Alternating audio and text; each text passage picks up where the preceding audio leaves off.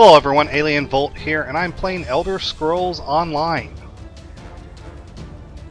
And I'm actually grouped up right now with my wife on her character, and we are uh, gonna conquer this dungeon.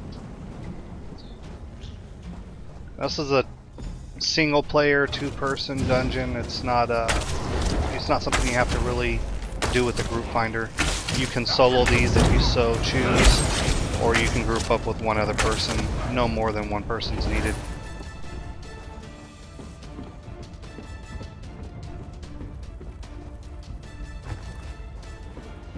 I really have a good time playing this game. I have other characters as well, but this one I only play with hers. This character is actually my High Elf Nightblade. And uh, basically he is kind of played similar to a rogue and a hunter but without a pet.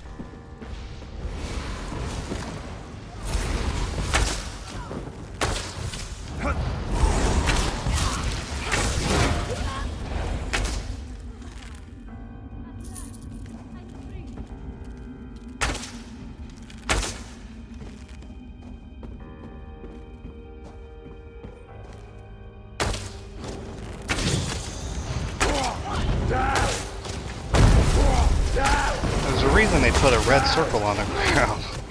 that uh, AoE does a lot of damage. Actually, any of the strikes really do.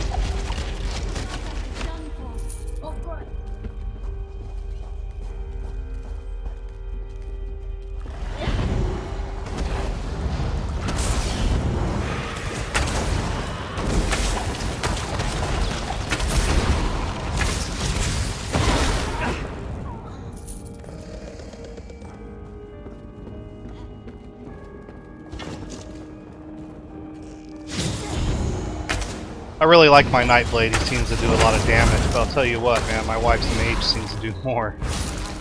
I've watched her clear through mobs that I'm clearing through on the other side. She tears things up.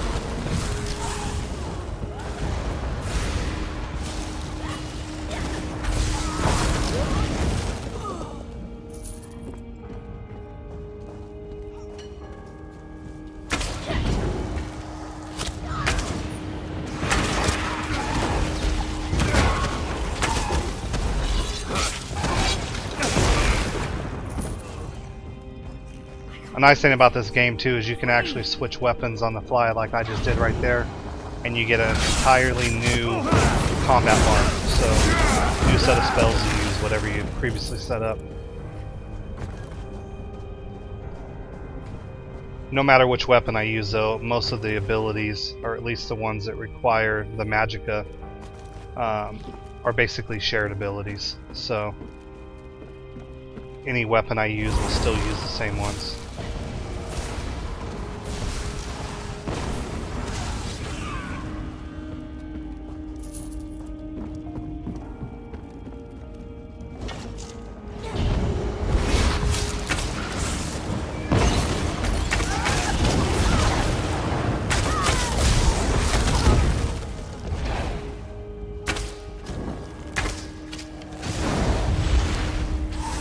I originally intended for him to be just melee, and then after I started using the bow, I actually really liked it.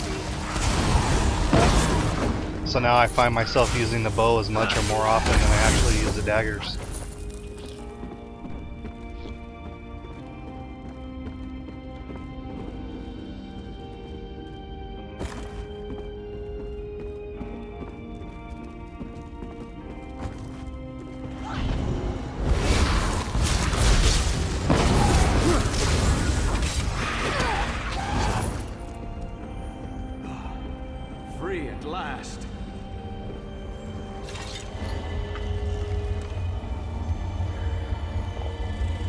These stones that we're actually uh, collecting or absorbing. Once you collect three of them, you actually get a talent point, which is pretty cool, but you do have to search them out because they're not always easy to find.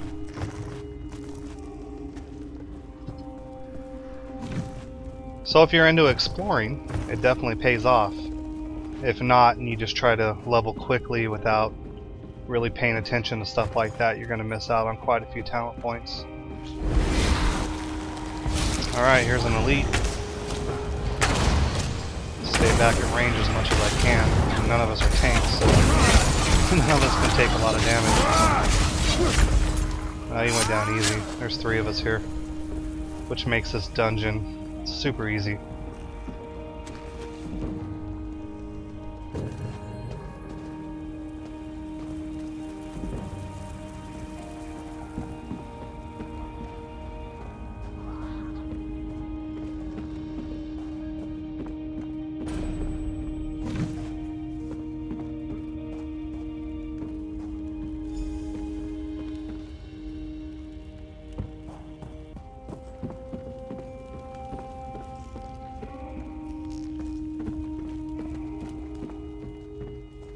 You also have to search really well for uh, like tomes, mage for the Mages Guild and stuff like that. You'll find rare books around here, and as you collect them, you actually increase your reputation with the Mages Guild, um, which then allows you to use more spells and such with uh, that talent line.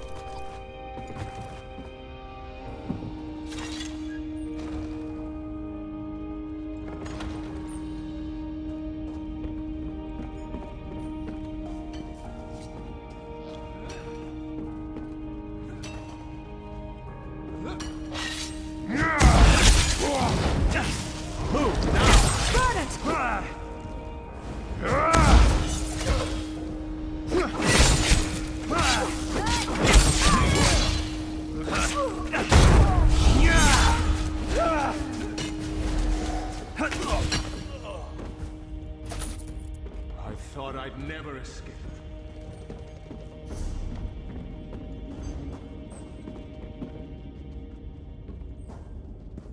Well, that's about uh, all this dungeon.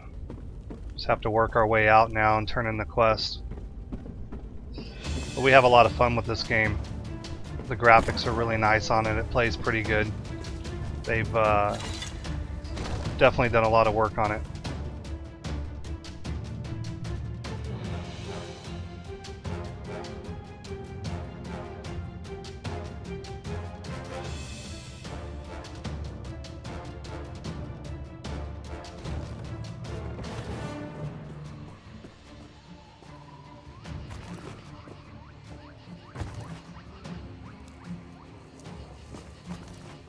The only thing I really dislike is that you just don't have enough bag space for all the crafting professions this game actually has in it.